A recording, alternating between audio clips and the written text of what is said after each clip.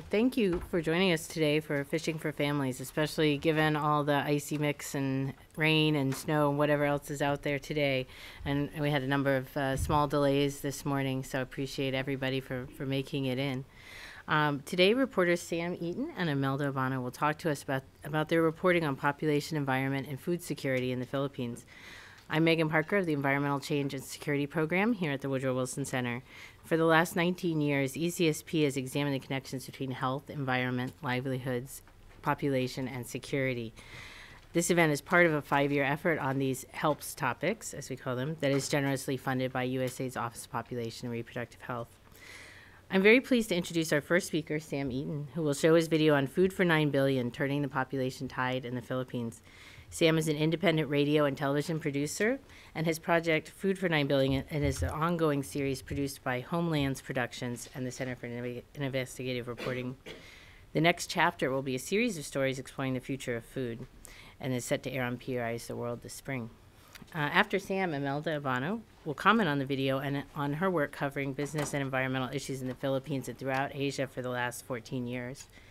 She's the founder and president of the Philippine Network of Environmental Journalists and I'm especially pleased to introduce her uh, because she, like me, recently joined the board of directors of the Society of Environmental Journalists, bringing a much needed international perspective to, to the organization. And a short word about where we're sitting. Uh, the Wilson Center is the official memorial to our 28th president, and it's a nonpartisan forum for independent research, open dialogue, and actionable ideas. We're not too many people here in this room, although I'm pleased with the turnout given the weather. And uh, but we are webcasting this live, and it will be archived for later viewing on wilsoncenter.org. When it comes time for the Q and A, please use the microphone so that people can hear you on the webcast, and please uh, state your name and affiliation. And now to the Philippines, a country struggling to cope with its rapidly growing population. Tonight's story is part of a new project that looks at the challenge of feeding the world in a time of social and environmental change. It's a NewsHour partnership with the Center for Investigative Reporting, Homelands Productions, and American Public Media's Marketplace. The project is called Food for 9 Billion. The reporter for tonight's story is Sam Eaton of Homelands Productions. The Danajon Double Barrier Reef off of Bohol Island in the southern Philippines is one of the richest marine biodiversity hotspots in the world. But just a short boat ride away, more than a million people depend on these fishing grounds for their food and livelihoods.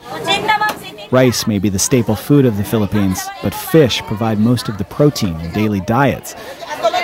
And as the population of communities like this one soar, nearly tripling in the last three decades, the effect on the reef has been devastating. Fishermen are resorting to extreme tactics to boost their declining catch. We captured one boat uh, this morning Nazario Avenido and his group of volunteers operate 24 hour patrols trying to protect their local fishing grounds. Illegal fishing has become rampant. Many use dynamite or cyanide, indiscriminately killing everything within their reach. Avenido has confiscated more than 50 boats and hundreds of illegal nets in recent years. Today, he seized this boat. Its owner, who escaped capture, was using a banned net that wreaks havoc on spawning grounds and sensitive corals. Avenido says the violators aren't bad people, they're just hungry. Because there is no other solution, especially when, when they are a very poor family. Poor in a country that has one of the highest population growth rates in all of Southeast Asia, every year adding about 2 million more mouths to feed. It's a hell of a problem. I think you just need to look at the statistics. Congressman Walden Bello says the Philippines is already beyond its carrying capacity. And that's today, with a population just shy of 100 million people. And so the demographers are really worried because they feel that most likely at the earliest we'll be stabilizing at around 200 million in 2080. That eventual doubling of the population presents an existential threat to the Philippines, especially for the people who depend on its natural resources for food. I traveled to a rural fishing village called Umay Umay to see how the issues of population growth, food, and the environment are connected. And what I found was surprising. Jason Bostero and his wife Krishna both grew up in large families typical of this area. But unlike the generations before them, the Bosteros made a deliberate choice to have only two children James and Cyril Jean, ages six and nine. My income is just right to feed us three times a day. It's really, really different when you have a small family. That choice to have a smaller family was motivated by memories of going hungry as young children. In my case, we were really hard up before. Sometimes we would only eat once a day because we were so poor. We couldn't go to school. I did not finish school because there were just so many of us. The reason the Bosteros were able to have a smaller family is because they could choose to. A community based family planning program has made birth control options like the pill accessible and affordable at about 70 cents a month for the first time in their village. In villages, we train and identify community based distributors like this to be able to sell pills and condoms anytime. Dr. Joan Castro started the program here. This becomes as easy as buying soft drinks or matches. She's with the Path Foundation Philippines, a group funded mostly through USAID. And what makes her program unique is its emphasis on local partners. Which brand of birth control pills are you selling more of? Well, they like the yellow one because it's cheaper. How much is it? It used to be 35 pesos, then it was 38, now it's 41. The idea is to be able to bring access to the people. Access that in remote villages like Umay Umay was non existent before the Path Foundation came in. In just six years since the program was first established here, family sizes have plummeted from as many as 12 children to a maximum of about four today. This village is one of the Path Foundation's longest running case studies, and what it's showing is how closely tied family planning is with environmental conservation and putting food on the table. Out on the Danajon Double Barrier Reef, where Jason Bostero fishes every morning, the shift to smaller families is already paying dividends. He and his neighbors have created a marine preserve to help revive fish stocks, and it's working. With smaller families, thinking about future generations is a luxury fishermen like Bostero can afford.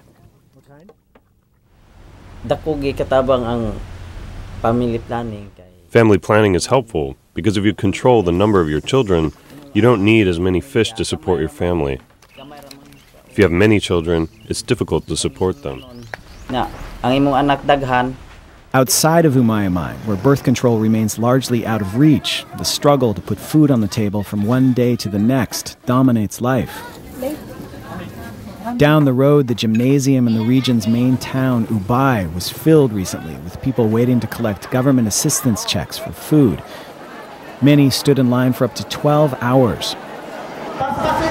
For the families gathered here, these checks are a lifeline, making up for the declining catch from the sea.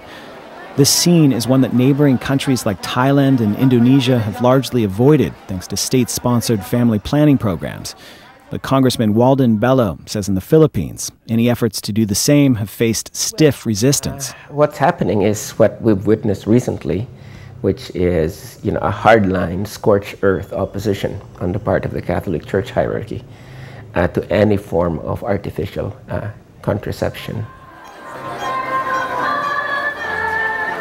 And in a country that's 80% Catholic, that opposition means something. For more than a decade, the church's leadership has rallied against a reproductive health bill in Congress that would guarantee universal access to birth control. Recently, it even threatened the president with excommunication for supporting the bill. That's why I said, don't fool with the church, because he, she will bury you. Filipino Archbishop Emeritus Oscar Cruz says the key to everyone having enough food to eat is a question of development, not population control. Once I was asked, uh, which would you prefer? To have less mouth to feed or to have more food to eat? And I said, is there a choice there? Come on, if you have more, food, more mouth to feed, then produce more food to eat, not the other way around. But that challenge to produce more food is already testing the limits of ecosystems, both on land and sea. Today, the Philippines imports more rice than any other nation on the planet. And according to the World Bank, every major species of fish here shows signs of severe overfishing. Technological advances have helped boost the food supply, but they failed to keep pace with the Philippines' surging population growth. Maternity wards like this one at a Manila hospital are overwhelmed. Dr. Esmeraldo Elim heads the hospital's family planning unit, but spends most of his time these days with new mothers. She's only 29 years old. This is her seventh uh, child. According to the Guttmacher Institute, more than half of all pregnancies in the Philippines are unintended. It's the poor who come here for maternity care, but if they want to prevent pregnancies, they're out of luck. Absent any state funding for birth control, Dr. Elim has little to offer. That's a stark contrast to the Bohol Island fishing village, Umay Umay, where family planning is as close as the corner store. Here, the Path Foundation Philippines program has taken on a life of its own. The project is now fully integrated with the local government's rural health unit. The vision of the project is in this community you see more children educated who are able to become leaders and speak out for themselves in the future and be able to become stewards of their own sexuality and their and the future environment. This is the legacy. Dr. Castro says success stories like this one can help overcome traditional attitudes about birth control. Jason and Krishna Bostero, both practicing Catholics, don't see a conflict between their religious beliefs and family planning. For them, it's about something much more immediate, like what kind of future they're going to pass on to their two children. I don't want them to be like us, just to fish the sea, just to farm the land. This is not an easy way to earn a living. You are exposed to the sun. It's better if they can finish their courses so they can have comfortable lives. With both of their children in school, the Bosteros are hopeful about their future, but it's a future that could easily be overwhelmed by outside forces. After all, this is only one village in a country still deadlocked over a family planning law, in a world that's projected to have 9 billion mouths to feed by the middle of the century. Sam Eaton's reporting on the Philippines food story continues tonight on American Public Media's Marketplace. Listen to it on your public radio station. You can also find an interactive map, a timeline, and many more resources at the Food for 9 Billion website. There's a link to it on newshour.pbs.org.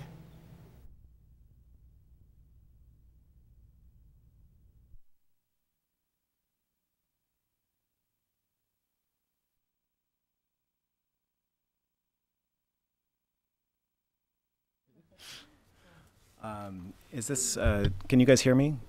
Great. One, one uh, quick note that family, the, the reproductive health bill actually passed recently in the Philippines after, I think, more than 20 years of trying to get it through. So that's happened since, since I reported this, um, this piece. Um, thanks so much, everybody, for coming out today. I know um, I, I, I, came in from Los Angeles, so this, uh, the whole weather thing is, is very um, um, foreign to me, I guess. um, and thanks you, Meaghan, and the Wilson Center for having me. It's really uh, a pleasure to be here and to talk about this story. This was the first um, the first piece I reported for this series. So um, since then, I've I've um, been um, going to other places around the world and exploring different themes. Um, but I still this one really sticks with me because I remember when we when we first started discussing how to do this story. Um, John Miller is the executive producer um, at Homelands Productions, um, and they brought me on to be a, a, contributor in this in this series. Um, we knew, or I knew from the beginning, that it was going to be a very challenging story to to do. Um, not one that um, it just just the the complexity of it, the the controversial element of of even touching on anything that speaks about population growth and and remedies. Um, I I was the uh, before this I was the um, the the founding reporter of the Marketplace Sustainability Desk, and I worked there for for um, many years before this. And we would gather every year and talk about the the big sustainability themes that we wanted to discuss in the year ahead. And every year, population would come up, and every year we'd we'd kind of him and haw and be like, well, maybe we'll we'll take this on. Um, it was it was um, it's a really difficult um, subject to do in a in a um, in a, a thorough uh, way. I'm, I'm, trying to think of how even to describe it. I mean, I think um, I was very, I guess I was very excited to take it on and do it in, and do it with it within the context of this series, so that I could spend the time that I knew I would need to to make the story, these stories. There was a radio story as well on Marketplace that that was a little bit different. It looked more at the agricultural side. Um, but I felt, you know, a lot of pressure going when I got on that plane to go to the Philippines to really kind of strike the right balance. Um, and then um, Alan Weisman, who's one of the Homeland's um, productions um, team, uh, he's an author who wrote the The World Without Us, and he's now writing a book about population growth that should be out in the next couple months. Um, put me in touch with Joan at the Path Foundation, and, and um, immediately I was struck by this kind of ready-made story. It was um, it was uh, it had all of the elements of of a, a good story but you know, the more I, I read about it, there was this this concept that was new to me: population health and environment, um, and it just seemed like this abstract concept that I didn't even know if I was going to mention it in the piece because I, it sounded like um, you know th these are the kinds of things that I think are hard to translate into television and radio pieces. Um, and then I got there, and um, here, uh, I, I, had spent a bunch of time traveling around the Philippines and spending time in, in the slums in Manila um, at the maternity ward. We saw some footage of that. And I arrive in this village, and, and it was such a contrast. It was such a stark contrast to the rest of what I had seen um, that I was immediately kind of struck by it. Um, here were these, uh, um, you know, very much poor subsistence farmers, rice farmers and fishermen. They would fish in the morning and and work their rice fields in the afternoon. Um, hard, labor-intensive work. Um, but at the same time, I mean, these these people, unlike so many that I had met, felt very much in control of their future. They were very empowered by this process. They spoke um, are very articulately about the, the future generations and about the, the reef and, and the problems that they were facing with overfishing. Um, as I think the story suggests, there's this, this backdrop of this, this fierce battle um, over two decades um, of, of trying to pass a reproductive health bill in the Philippines that would grant universal access to family planning. Um, you have a very highly politicized church there, still so. I think um, Imelda will talk about or mention um, that uh, there's something like six challenges to the bill in the Supreme Court um, since it's been passed. So it's not, you know, even after the passage, it's still facing a lot of opposition. Um, but I think how population health and environment suddenly kind of made sense to me was that when you have um, a community like this that's so small, tight knit, um, and very much living off the land and from the land, um, all of these things make sense. I mean, it's basically it's life, uh, this integrated approach, um, and so issues that, that, that can't be separated. Um, it's putting food on the table. It's uh, making sure that your kids have three meals a day so that they, they can concentrate in school, so that they can go to school. Um, you know, having a, having a couple kids versus having 12, some words, upwards of, I think Imelda was saying she's met families with how many? Like, more than 40. What's that? Children? Yeah, how many? Like upwards of 15 I mean, I mean, it's it's um, you know, there's it's hard to kind of have opportunity for your children when there there are so many. Um, and they also understood that um, the connection to, to conservation with these choices of if you have children that are hungry, you're not going to think about the future of of you know fishing tomorrow or the next day or three years from now, 50 years from now, you're thinking about how can I get these kids some food, and that's what's happening when you have um, the fishermen go out and use dynamite or cyanide um, to get their catch. Uh, it's it's about thinking about their children, but not necessarily about the future environment that they will be living in. Um, and then there's the fact that this, you know, that this was a program that came in that utilized the the resources of the community. So there was that ownership. Um, in Umay Umay that was, I think, so essential to it lasting beyond kind of the Path Foundation, setting up the pilot project, and then, um, and then it just had a life of its own. Um, the woman who was um, who was featured in there was also uh, um, would go around and, and um, she trained so that she could um, consult with other families on family family um, family planning uh, and was was just a huge huge resource for the community in that respect as well.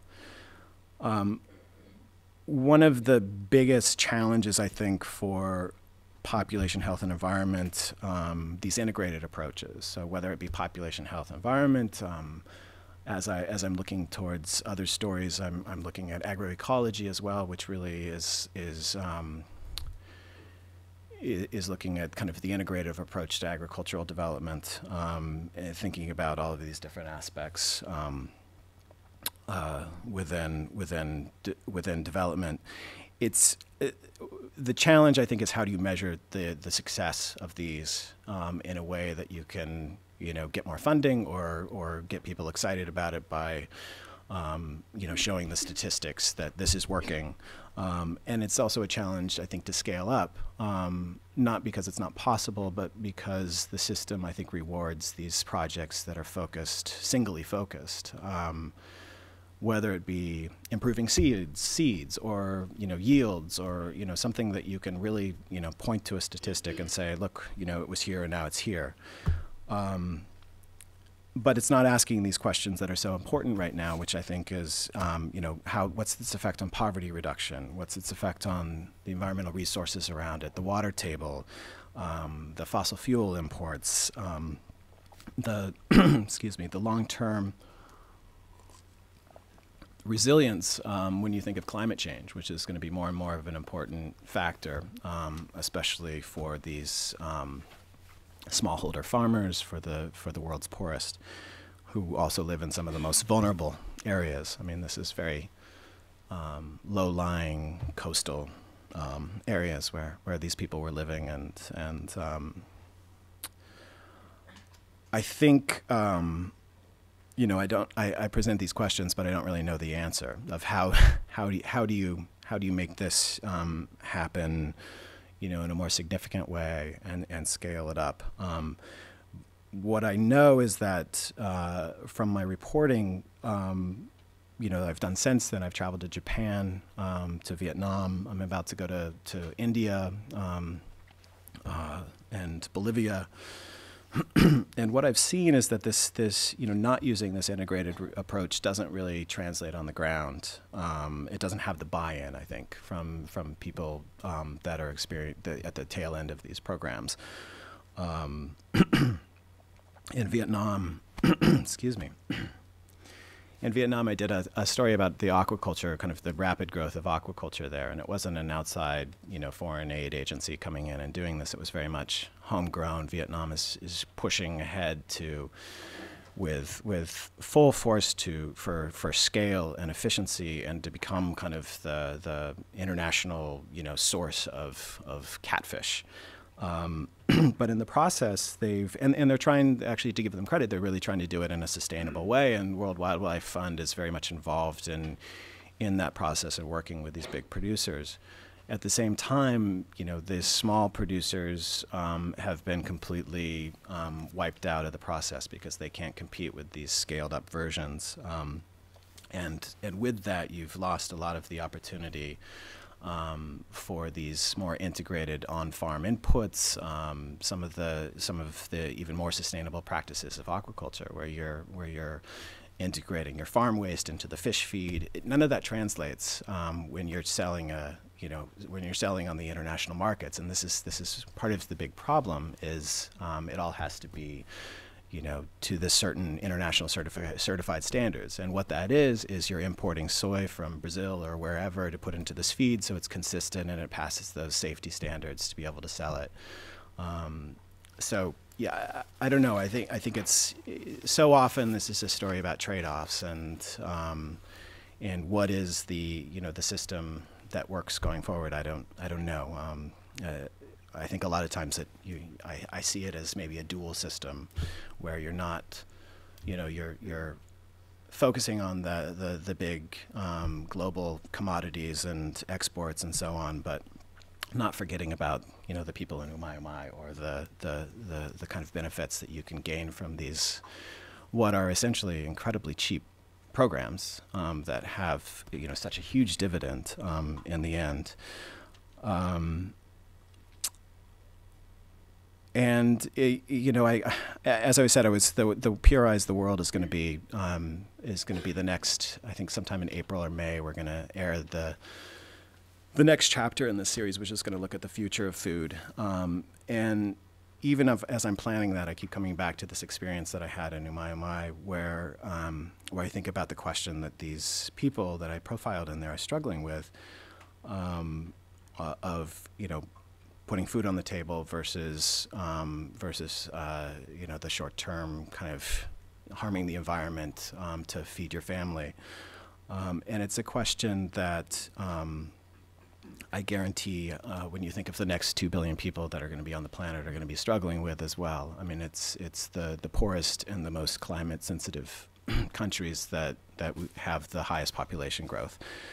Um, and that question being, how do you produce more food with less um, in a way that doesn't completely uh, jeopardize the planet and its ecosystems in the process. Um, personally, I I think that the um, the the kind of scattered approach or the single-minded approach to aid and to programs um, to to address this um, aren't going to work uh, given the extreme challenges that we're facing on this planet um, and that an integrated approach is going to be essential. The question, I think, is just will um, will it translate to government? Will it translate to policymakers, to to the corporations that I think have a lot of power in this as well? Um, will will all of those players get on board in a, in any meaningful way, and and also do it fast enough? So, I think I'll I'll leave it there, and um, and uh, we can go to questions or. Thank you, Sam. Those are Thank you. certainly the big challenges. And um, Imelda's going to tell us a little bit about her perspective from the Philippines on some of those challenges and the trends going forward. Hi. Um, good afternoon. It's my pleasure to be here with you. And thanks to the Wilson Center and Meaghan, of course, for inviting me over here. Uh, two things I got from uh, this uh, film of Sam is that uh, one is that it's a very good thing that we we're getting international attention to this problem. And the second thing is that it's a very, very sad that we're, we're highlighting population problem in the Philippines. But we have to do something about it. Well, as a journalist, uh, we have been highlighting development, poverty issues, environment issues, of course, climate change and disasters in the Philippines.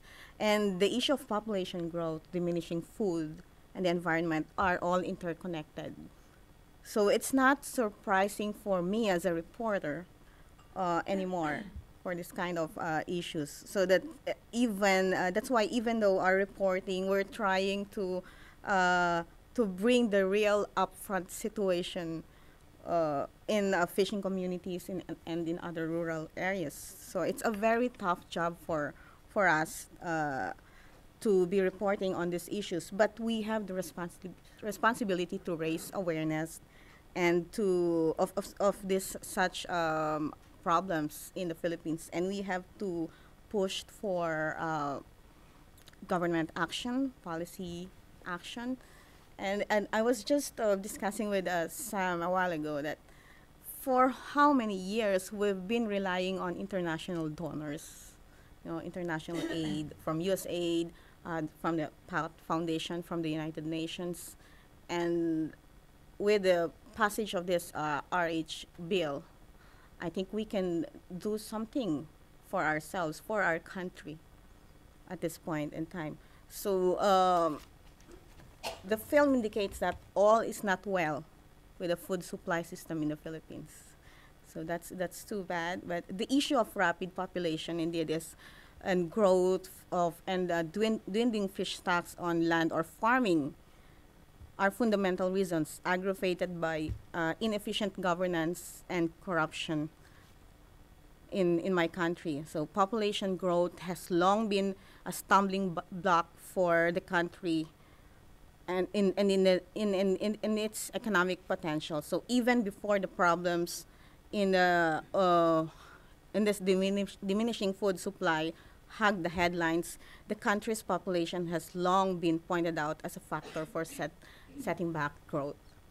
So I certainly agree with the issue that Sam has brought uh, in this documentary, and Umay Umay's story is just one of thousands of villages in the Philippines that's suffering below poverty line.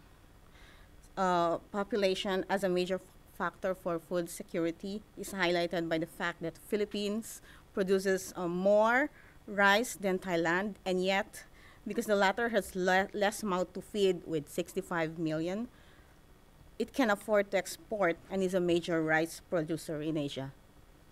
So according to, well, according to the uh, census of the National Statistics Office released last year, our population is at 92.3 million, and I guess it's more than that, more than like 100 million, I guess. And in 2015, it is expected to be like 120 million if we don't do anything about it.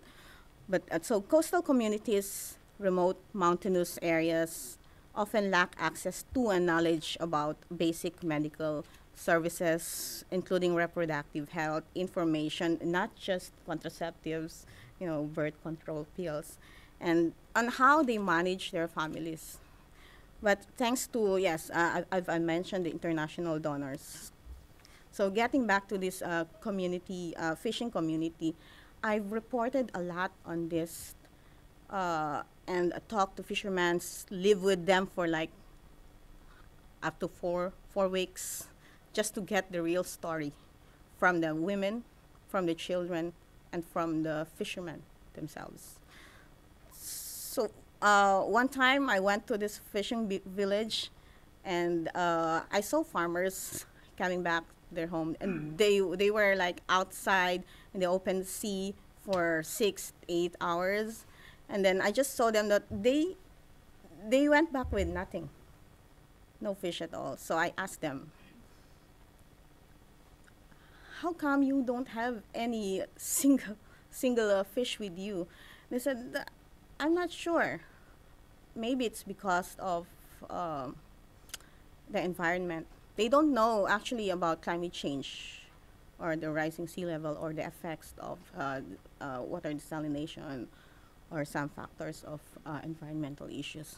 So with with that, I think it's it's a problem of um, I guess not just the environment, but on policies.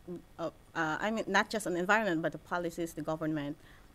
You know, and they're really coping with this uh, struggling with uh, uh, the fish stock. They really want to have this, uh, they, re they really want to uh, produce more to sell to the markets, but they themselves, they don't have any single fish. So that's, that's really a reality. So I think the only solution to this uh, mounting problem is to curb population growth through the avail availability of birth control reproductive health, information, and education. So it's it's a good thing that um, the the Republic Republic Health Bill was just passed last December, and it was signed by the president this January. So it was like two decades of battle from the Congress to the Senate, and it's good that we have these uh, very empowered women at the Senate who really um, defended on this uh, bill. So you may ask what took it so long to become a law. The Catholic Church was a staunch uh, opponent of the bill. They say it will not benefit the poor people, but the giant pharmaceutical companies using uh, this kind of um, birth control contraceptives and are perceived as evil, are perceived as evil, and they even threatened uh, pro-RH politicians, including the president, with excommunication. So it was a tough job, really, for us to to to uh, report on this, and it was also a tough journey for the bill to be passed. So our country, let's face it, it's still struggling to cope with its rapidly growing, growing population, and we are beyond the carrying capacity of the country with almost yeah, 100 million population and a very tiny low-lying areas. So the average, actually, the average uh, typhoon that pass in our country is like 20 a year. So you can just imagine how many disasters, how many floodings that we experience. And uh, as, as I'm talking right now, there are uh, some people suffering on a flooding still. So it's, it's, it's, it's a tough job for, for us to, to report on these issues, but we have to. Thank you, Imelda. That's, that's very powerful. I wanted to ask both of you a, a question. I'll take the prerogative and ask you the first. And I wanted to ask, what's been the reaction to, to this piece, uh, Sam, that you showed uh, from not just the public, but also if you uh, had any um, uh, reaction from other reporters um, about uh, moving into an area that you, as you said, has a, faces a lot of challenges from reporting as far as being difficult to report on, but also from um, uh, other uh, groups working in the area or governments, and just sort of what what you got. And similarly for you, Imelda, if you uh, comment on on as you've moved from reporting within the Philippines to reporting on broader global issues, how you've had to adjust and uh, what reactions that you different reactions you've gotten from moving uh, into a more international um, sphere of reporting. Yeah, I mean, I, I was um, I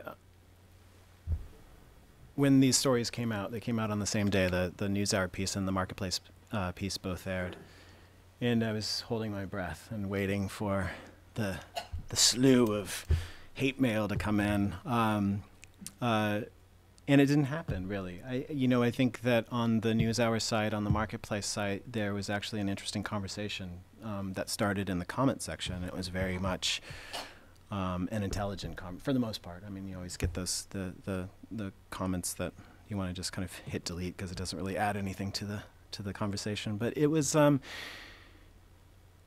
I, I feel like, and I don't know why that is. Like maybe there's, I, I feel like the conversation may be changing um, instead of just this reaction to it's population control. We can't talk about that. You know, this we've talked about this in the 70s, and it didn't prove to be true. I think people really see that there is resource scarcity, and maybe we've just kind of put it off. We've moved that target back a little bit, and um, and it's hard to find well, I don't know if it's hard to find people that aren't willing to see that, but I think that it's harder to deny that we're not entering a, a kind of new phase um, where all of these issues matter in a, in a way um, that they didn't necessarily, or they weren't on our in our imagination before.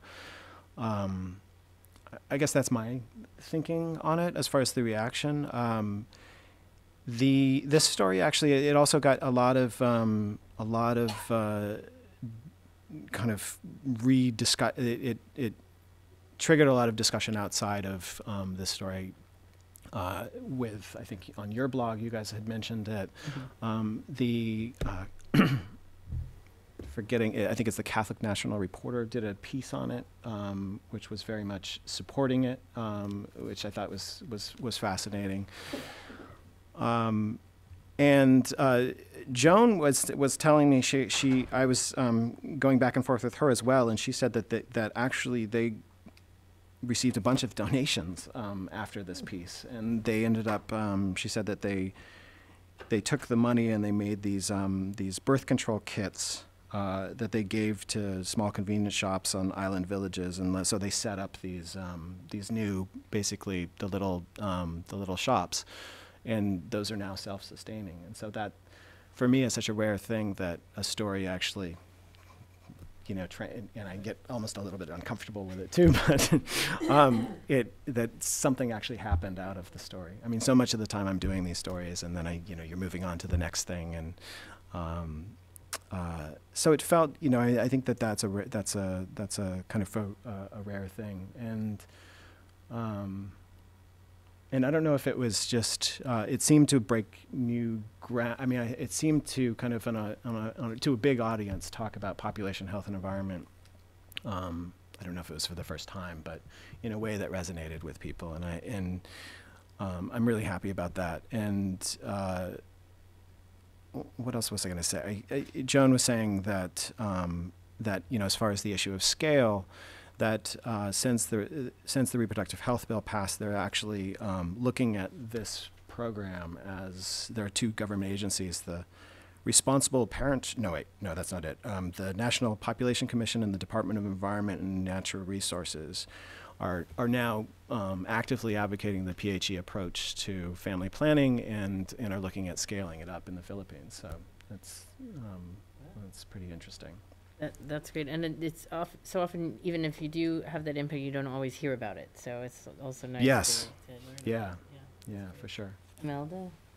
I, I feel that we can just keep this problem among ourselves in the Philippines. It's it's an issue that's meant to be shared with other Asian countries or even internationally. And uh, this, uh, we, we, we, we wanted to follow up these issues, highlighting solutions. That's why it's from local to national. So bringing the local solutions into the national and national arena. Right. Yeah, yeah, that is a, certainly a, um, something that as a reporter you're well placed to, to do that is hard for others to do.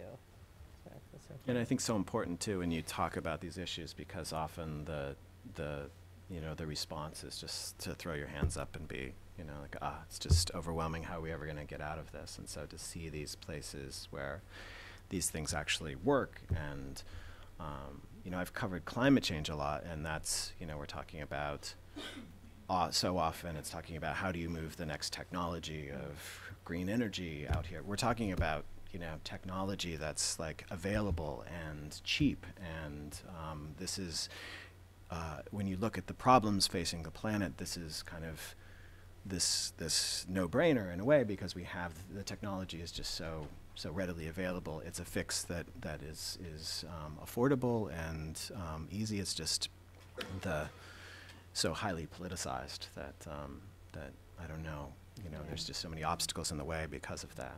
But but you think of I, I think that's what what is the the statistic for the unmet need globally is um, is just so huge and and kind of when you think of the UN population projections of nine billion. Um, you know, you can you can add a billion and a half on either side of that, depending on um, you know whether you get contraception and family planning to those women of the world that aren't getting it right now. And one of the impacts that I've thought of is that um, writing these kinds of stories and connecting it to climate change or environment is that we had a memorandum with the Philippine government right now on climate change reporting connected with health and population issues, environment. On the, um, well, we'll take some questions from the audience. My colleagues will have microphones uh, to hand out, and please remember to state your name and your affiliation. Uh, and uh, I, since uh, Sam mentioned scaling up, I wanted to um, uh, put Roger Mark in the spotlight um, right away to talk a little bit about scaling up, or and then uh, see if he had some questions to throw into the mix as well. Thank you very much. Meaghan, and thank you, um, Sam and Imelda. So uh, I, I had a couple of questions. I wasn't going to talk about scaling up immediately, but we could talk about that later. Um, so uh, first, just to say thank you. It's a wonderful job.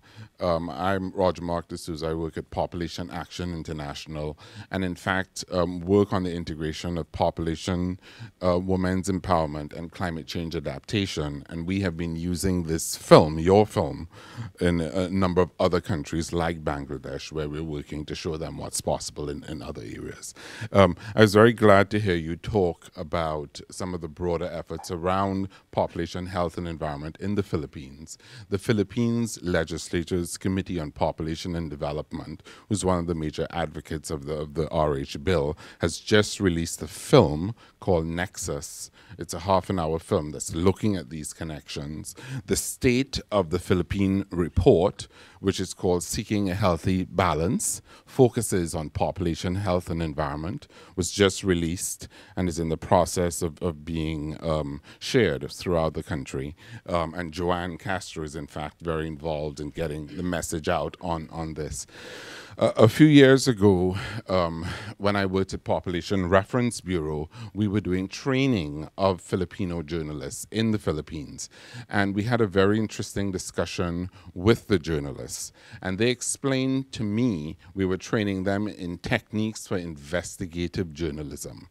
And they said to me, you know, Roger Mark, the way that you Americans talk about journalism is very different from how we Pinoys talk about it.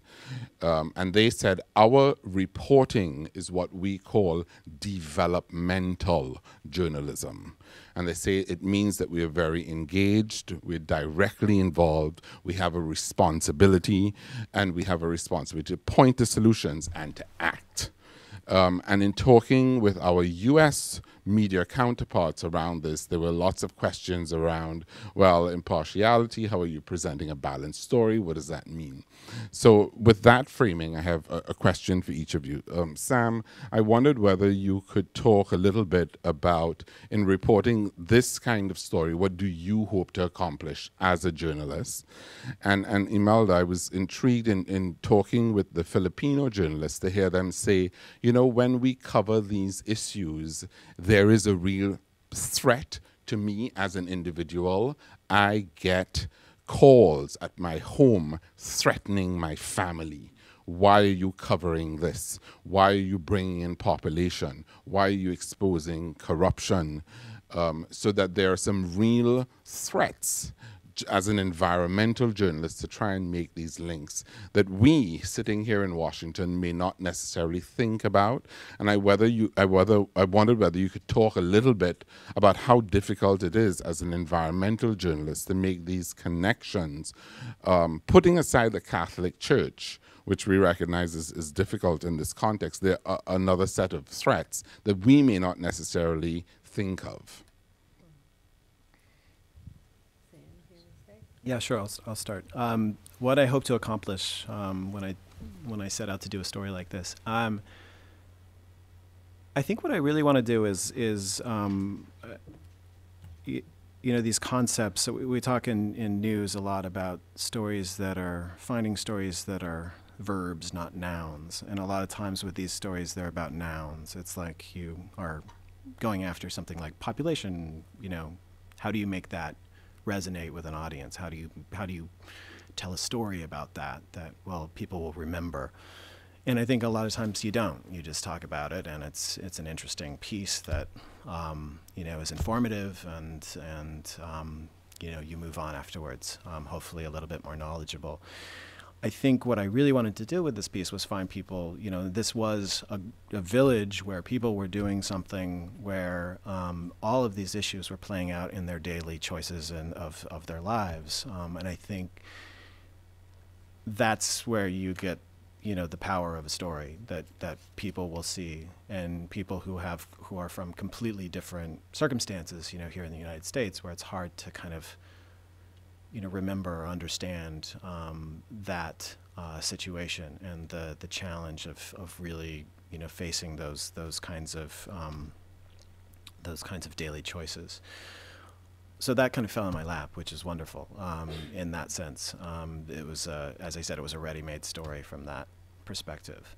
What I also want to do, though, is is not just go in and say, "Here's this story," and then end. You know, I want to uh, um, I've, I've, as I said, I've covered climate change and and uh, global sustainability issues long enough that I can recognize some of the, I can recognize a lot of, or maybe too many of the interlinking um, patterns between all of these issues. And you know, there's there's only so much you can do in a in a 10 minute piece, which is kind of you know amazing to have 10 minutes these days on TV to produce something. Um, but um, that's I think the the other main thing I want to accomplish is is go from this you know very human story to um, how does this what does this mean in the context of the rest of the world the the challenge of population growth um, and and kind of put that in in context, um, hopefully in a meaningful way. I mean, I, I think that's what I that's what I strive to do, and that's what we're looking. You know, as I'm I'm I'm buried in this right now, trying to um, to find the stories for the next or develop the stories for the next part of the series, and um, faced with many of these these same challenges. So. You know, the Philippines is the f- we have the freest media in Southeast Asia, but we have a price tag to it. Yeah, that's true. Um, journalists reporting on uh, controversial issues such as on environment, logging, and corruption, they are being threatened by government officials connected connected into that controversial issues, or big uh, companies that issues. So it's it's really really really hard for us to report on these issues, and sometimes some some reporters uh, are into self censorship, so that they can just save their, their, their themselves, you know. And regarding the, uh, the reporting on the Catholic Church side side, most of the journalists in the Philippines are still very uh, conservative, and they don't want to hurt the the opinion of the church. But just yesterday, there is one um, pro RH, you know, um, journalist or activist who was put into jail because of saying something against church on this reproductive health. So that kind of issue, it's really, we're still struggling on reporting those issues. Uh, Lisa, up front. Thanks. Um, Lisa Friedman. I write for ClimateWire. We're an energy policy magazine here, and um, I guess both my questions kind of bounce off of, of Ray's. Um, Imelda, you know, other than the issue of being threatened, can you talk a little bit about how interested editors are generally in environmental news? outside maybe of extreme weather events like the typhoon, um, you know, recently, um, you know, obviously some of the politicians in, in the Philippines are like rock stars at the UN climate events, but on a day-to-day basis, is this, um, you know, is this a topic that that editors are interested in? That it's a, is it a hard sell? What are what are some of the challenges? And I guess Sam, I don't know if there's anything to, to add because you, you were what my question was going to be, and maybe you've already answered it, was you know, kind of how do you take uh, these big ideas, right, population and health and environment, and make it you know into the the kind of specific and tangible and human piece that you did, and a little bit about your process and kind of how that works when you're dealing with something now like you're about to with with food. Um, maybe you could talk a little bit more about how you break that down into the process. Thanks right now, more and more journalists are reporting on uh, climate change issues. Yeah, maybe it's because of the extreme weather events also and the disasters that's happening in the Philippines. And just imagine 20 typhoons a year. So it's still connected to, to climate change issues. And uh, we have, for this year, we have uh, the government is prioritizing climate change issues. And we have this uh, climate uh, um, national elections, and most of the uh, politicians are using climate change for them to win. Yeah, it's it's a hot issue. That's that's one reason why I organized this uh, Philippine network of environmental journalists. It's because we have really have to intensify our reporting in, in, in my country. And Sam, a little bit about finding. Yeah, the just a little bit human about the stories finding the human stories. Um, it's hard. Uh, it's. Thank you. Uh, The, the, I feel like the piece that um, aired on Marketplace in, in conjunction with this was even more challenging because it didn't have that one place. And so what I tried to do with that one was um, profile this woman I had met in the slum um, called Vitas in, in uh, Manila, where they live off of the garbage, essentially. Um, it's a garbage dump slum um, and use kind of bring her story to life a little bit. She had 11 children. I think she had um, 14, but three like, uh, had died from, you know, uh, what was it? Um, uh, I'm trying to remember. It was diseases that you know you you you. I, I mean, it's just it was such a toxic place. Um, and she had she had actually had an IUD, but she had it removed because she thought it was giving her asthma. Um, in a garbage dump where they're burning plastic and um, you know cracking open the the um, the compact fluorescent bulbs right into the ground. I mean, it was the the ground was essentially garbage, and so it was this spongy kind of um, uh, ground and just being exposed to so many different things. Um, so I think I mean, with that one, I tried to to kind of frame the piece around her and then go into the big ideas because that one was very much a noun story in, in many ways. Um, and as I'm going forward, um, these it doesn't always work out. I mean, you you really have to find um, the characters that are passionate about something. I mean, that really translates well. Um, so I'm um, I'm looking in India, um, where these farmers are are um, in northern northern India and Bihar are, are are incredibly passionate about um, breaking the world records for system of rice intensification and all of the other intensive agricultural methods.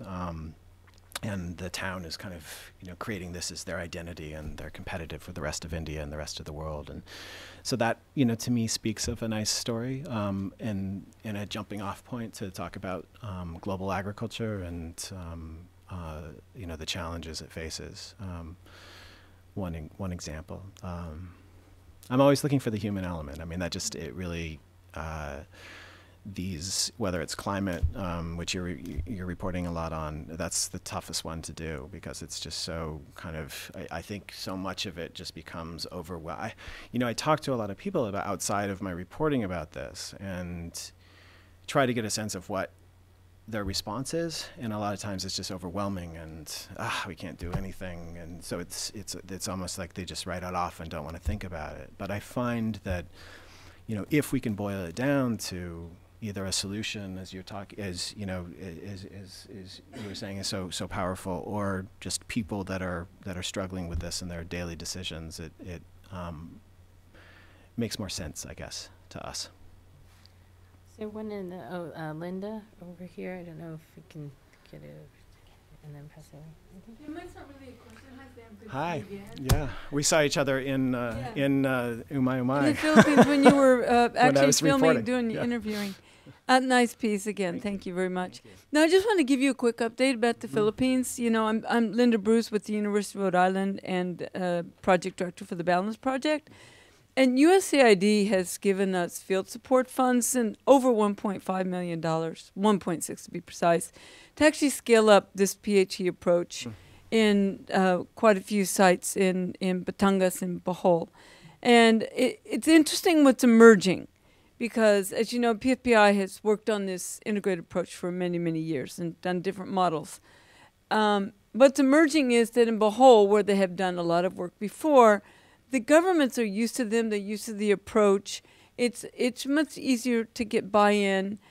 They have switched from working only with these sari, sari stores where they give out the pills or sell the pills to incorporating it more into the, uh, the Ministry of Health, the rural health units.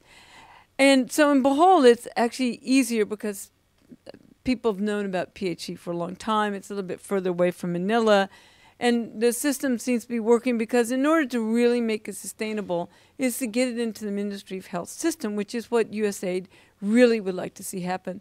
But we're observing in Batangas, which is much closer to Manila, maybe hour and a half, two hour drive, is that they're still extremely conservative. And the government won't blink without really watching what effect the blink will have on, on the church. And so we're finding that they're not, even the, the local governments are not giving family planning supplies to the rural health units. And so it's more difficult to do the PHE project through the rural health units in Batangas. So we find that two models are actually emerging. One in Batangas was going back more to the private sector in these sari sari stores, and then in Bohol and Leyte and some other places where the governments are much more open is to actually trying to incorporate this. So the at the end of the project, USAID is asking to have a description of two models because they I think I get the sense that they would also like to continue investments. The other thing is really interesting. I think this is the I think now I, I may be misquoting. This is the first time where two different offices in with USAID have funded a PHE project. One of them is the Office of Environment. They have put in $800,000, $800, and then the Office of Health put in $800,000 for population, for family planning activities. So we're working very closely with CI, Conservation International as well.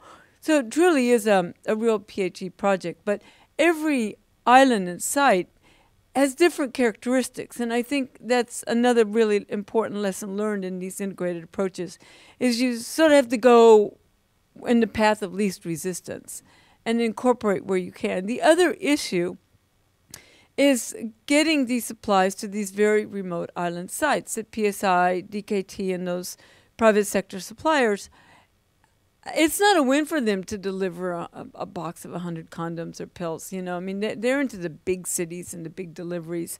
And also it's very difficult to get to these sites which is why they've had to revert to some of these cbd kits and work with the local pharmacies so but they're working out the, the glitches but these are all very important lessons learned but i wanted to mention that usaid has invested quite a bit of money through two bureaus to try to scale this approach up Thanks, Linda. It's important to note the challenges to scaling up that you did, such as the, the remoteness and the variability, and I think that's an important highlight. Um, let's see, uh, over here. Uh, I'm Helen Rafael with Resources for the Future. I wonder if you know of any ongoing commercial development of marine plants. After all, the only source of food from the sea is not the fish. The fish themselves eat plants that are marine plants. And with our melting of the glaciers that feed our major freshwater rivers and the rising of the sea level, it seems to me there's a commercial opportunity there for large scale development not only of seaweed, but potential other plants that can survive on salt water. Uh, we may absolutely need that in the future. Have you heard of any such developments? Well, I know that the the seaweed production in the Philippines is huge, and there there actually have been projects um, that um, I, I, don't. I'm not going to be very specific because I remember when I was researching this story, I was lo- actually looking into that as well. Um, that they are there have been investments in in kind of retraining farmers. I mean, retraining some of these fishermen to be seaweed farmers to ease the pressure on the reefs. Um, uh, and I'm not sure how you know successful they've been, um, but it is a huge, um, a huge, huge undertaking. And when I was in uh, reporting in Japan, that's you know it's it's very much um, a part of their aquaculture. There is seaweed raising seaweed, um, so a huge. Um, I, I, think a lot of potential there for uh, a source of food from the sea that's a little bit more takes less, you know, inputs um, and such.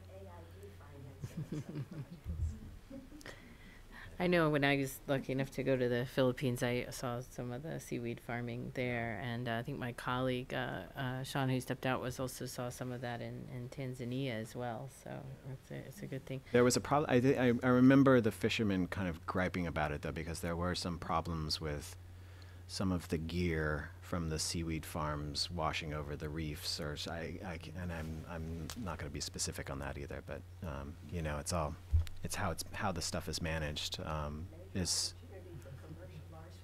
sure yeah over here in Eureka.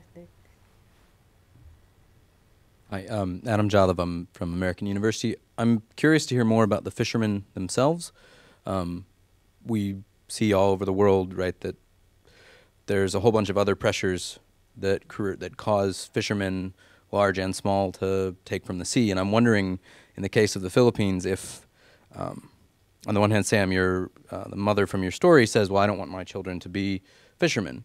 Um, on the other hand, you show us the markets. We've seen in many other countries that the minute fishermen have a little bit of capital, they reinvest, they scale up, they can um, sell fish oil so that that fish oil can be sold back to either feed other fish or feed chickens. It, I'm wondering, the fishermen themselves, do they actually want to fish less, or do they just want to capture more profit from the fishermen? And Imelda, you've said you've spent quite a bit of time with them, so I'd be curious to hear your viewpoint as well. It's, it's, it's still a problem in the Philippines. It's still the dwindling fish stocks. So sometimes uh, the fishermen, they don't want to sell the small amount that they have to the market anymore. So it, it's really challenging, challenging for these farmers to produce more, to get to catch more fish.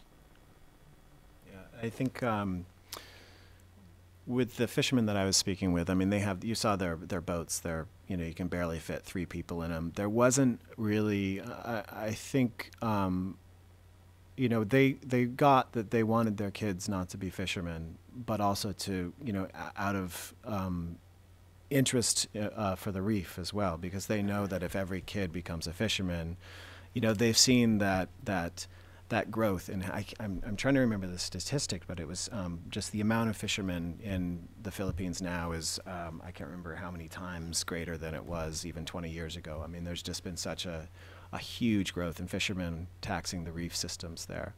Um, so there wasn't that ambition. Um, that said, the people that were uh, the boats that they were confiscating, um, oftentimes the, the people on the boats weren't the owners of the boats, and so it was it was somebody who owned some boats, and he'd send out these poor guys that, you know, to use dynamite or cyanide or these illegal nets, um, and um, they kind of, you know, beach the boats and run as soon as they see the patrols. Um, so I think those guys are there's a little bit more of that um, scaling up and trying to catch these illegal fish that then will you know sometimes end up in the markets. But you can you can tell you know the the eyes um, by they check the fish at the markets for dynamite.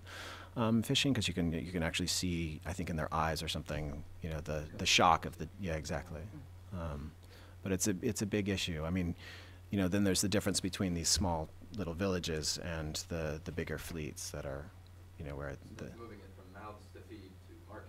yeah. Yeah. Down here. I, yes, uh, wait for the microphone, please. Thank you very much. Very interesting video. Thank you.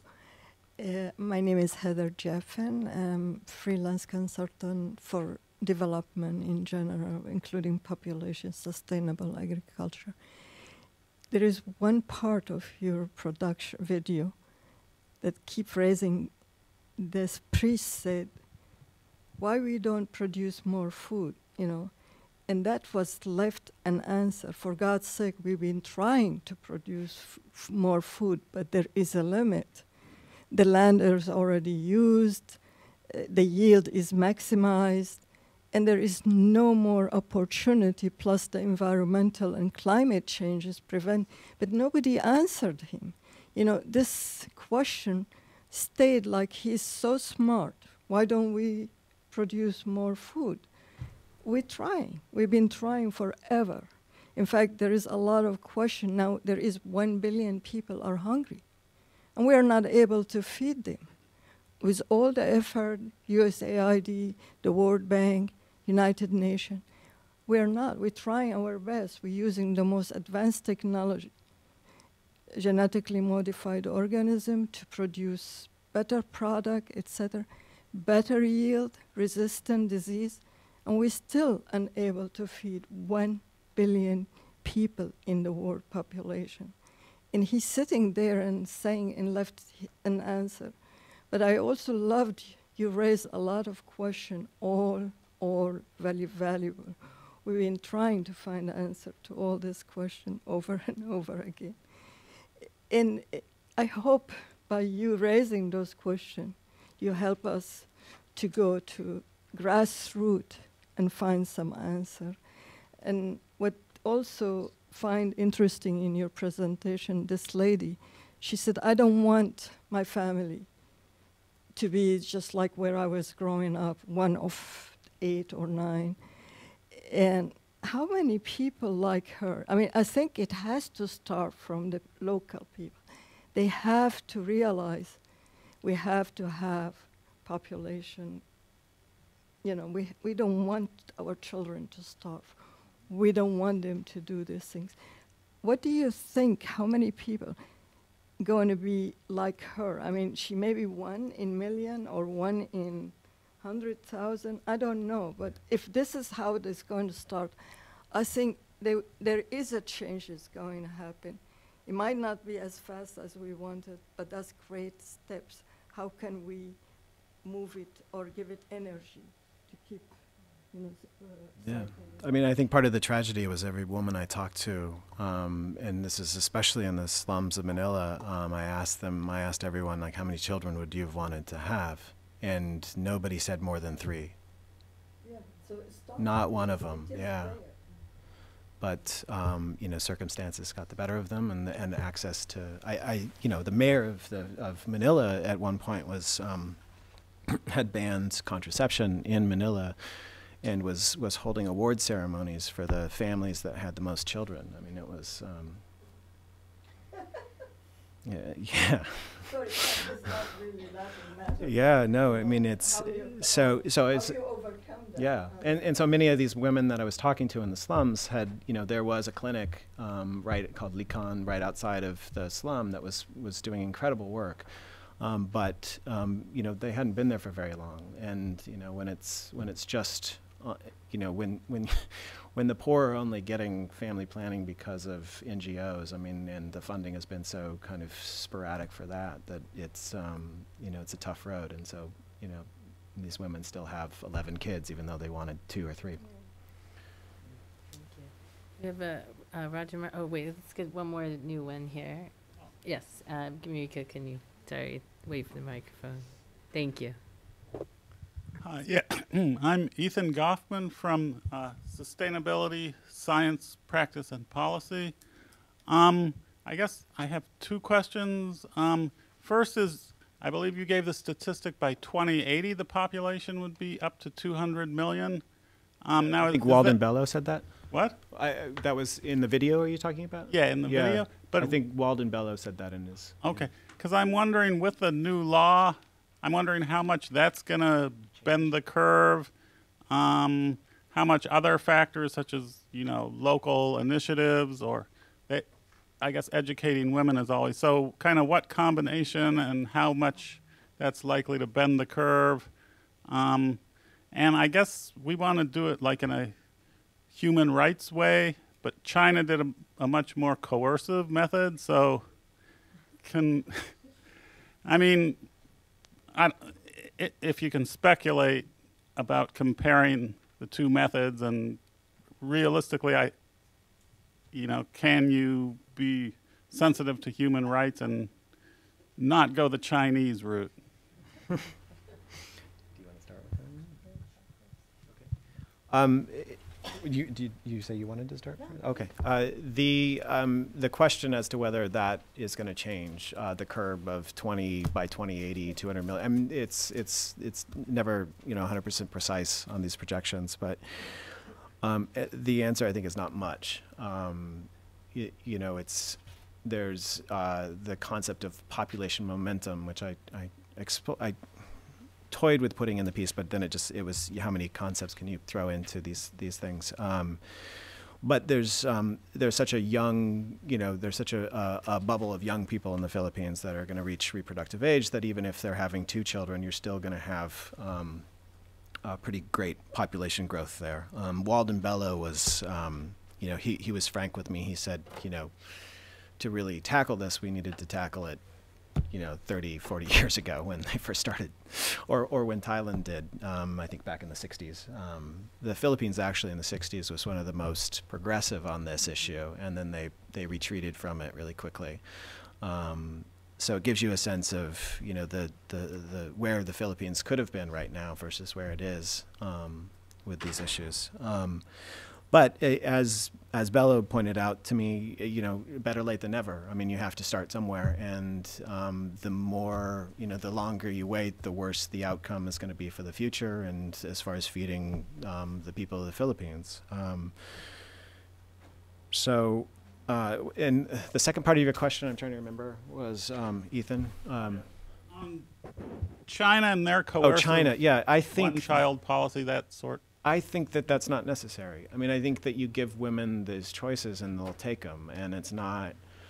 There's no coercion that's needed here. I mean, it's just a matter of access, and it's a matter of education. Um, you know, the more education women have, the more they're willing to make these choices. Um, you know, a lot of times when in extreme poverty, it's the men that um, are are very um, in control of this. I mean, a lot of the women at the clinic at the slum in Manila were there secretly. They'd tell their husbands they're going for a walk and go get their shot, and um, and um, they'd had very they'd had a lot of um, instances where the men find out and um, and beat up the wives or actually try to pull out the IUD, you know, things like that. I mean, it's it's really um, an issue. So um, the more women I think have education and are empowered in this process, the more uh, you know the coercion doesn't really need to happen. It's not population control; it's just about giving access. I, I cannot speculate much on the statistics. We are still in the see on the result of we're still in the implementation stage of this uh, RH bill and it's being contested at the Supreme Court and we, we, we don't really know what the outcome of this uh, law yet. Do you have a, is there any timeline that you think that, or could it drag on for? No idea. No, no idea. right. Um, up front here, Anika, if you can. Um, good afternoon. Thank you. This has been very informative. Um, my name is Margaret Walsh. I'm in the Climate Change Office at the U.S. Department of Agriculture. And I'm curious how um, important do you see climate change issues um, related to some of the obviously very pressing concerns um, influencing food security in the Philippines right now, and how do you see that manifesting? You alluded to some issues related to production, but um, you know, trade, um, water issues, that, that sort of thing as well. I'm curious. Thank you.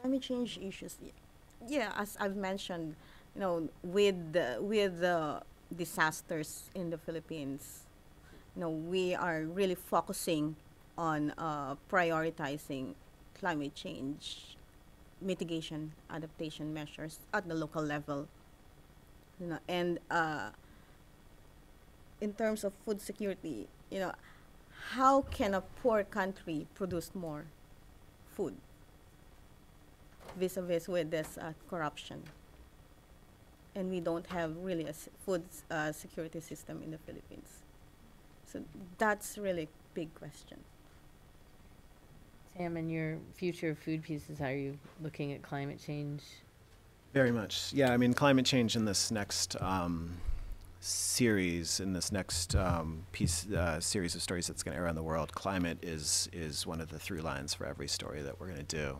Um, and uh, what do I say? Tune in. And but um, yeah, I mean, we're still kind of finalizing the story. It's still, you know, in the development phase. Um, so we're trying to trying to develop these stories. Um, but uh, yeah, it's it's such a. am trying to figure out how to say something, you know, that's useful for you. I mean, what what kind of um, examples would you be are you interested in hearing about? Thanks. Um, I guess I'm just curious about experience to date and where you see the pressures coming in the future. And there are all kinds of issues of scale. So I'm curious, sort of at the national scale, um, trade, of course, becomes a huge issue. Not necessarily, I mean, domestic pr production matters, but then also trade, food aid becomes an issue, and then food sovereignty issues play into it. And I'm just curious how yeah. that looks in the Philippines. You know, it's it's it's interesting because it's like the Philippines is um, is a pretty, you know, the average farm is really small and the, and that's a through line I think for a lot of the developing world and and um, poorer countries. Um,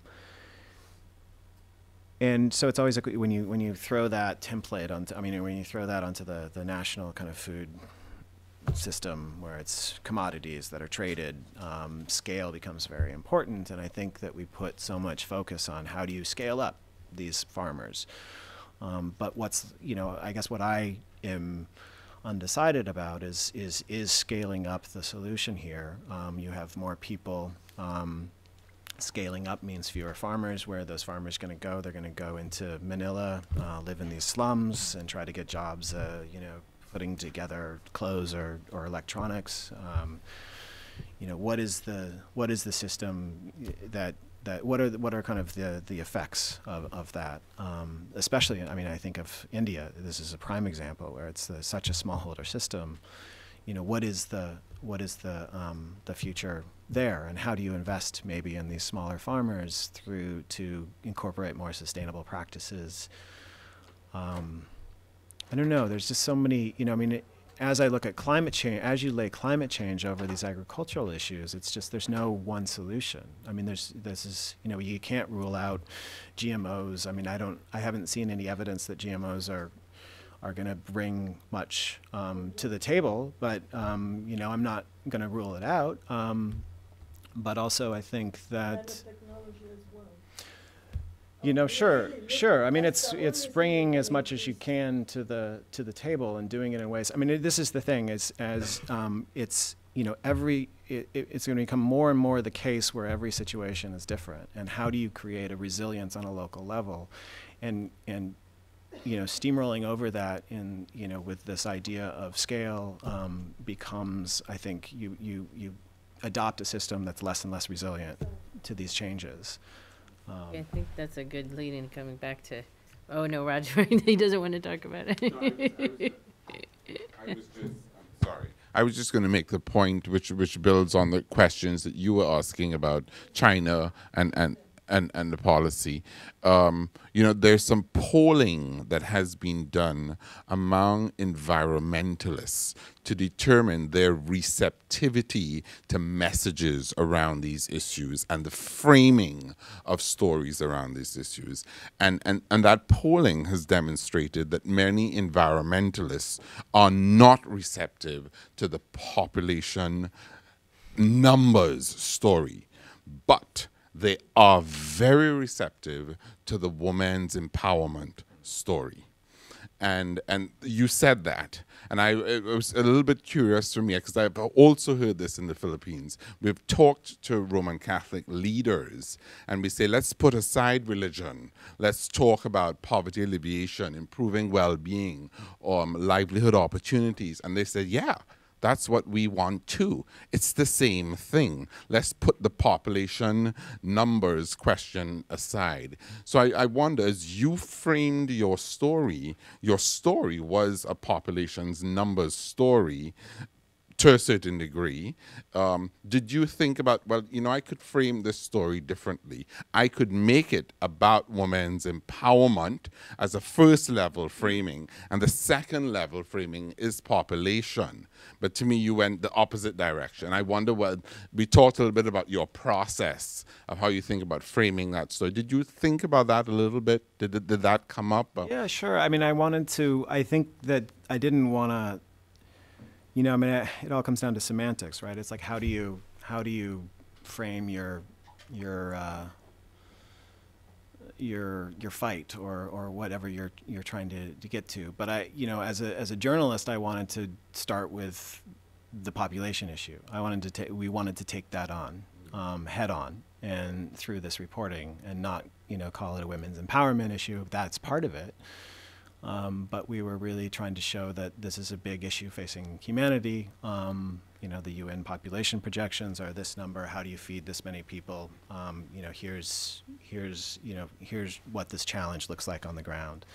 Um, but that said, you know, I, I, I, interviewed when I was interviewing the woman who's um, at Likhaan, um, who's uh, runs these clinics around Manila um, and does in, incredible work um, with the poor and bringing bringing reproductive health and um, and uh, counseling and contraception to poor women. Um, she wouldn't go there. You know, she was very much like we talk about it in terms of women's empowerment and and all of that. And so she definitely um, was uncomfortable with you know talking about the population numbers or about the environmental side of it. Um, and that said, I think I think that I understand the environmental movement's reluctance to do this as well because they've been burned in the past and they don't want to be associated with like, let's protect all of this environment from all the bad people that are going to come in and chew it up. And so, um, you know, I understand the the kind of tricky dance that environmentalists have to play when they're when they're talking about population issues.